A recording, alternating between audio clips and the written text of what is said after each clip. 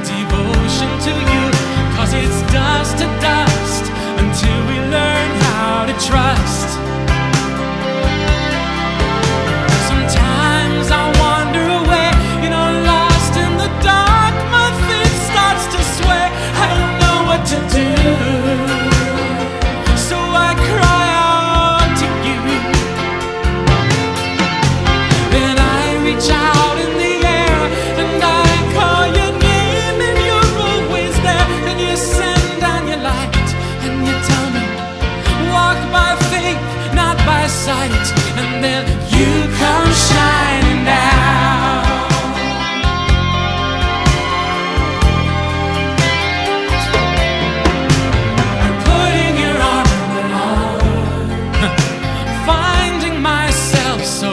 suddenly drawn like a moth to a flame whenever I hear your name.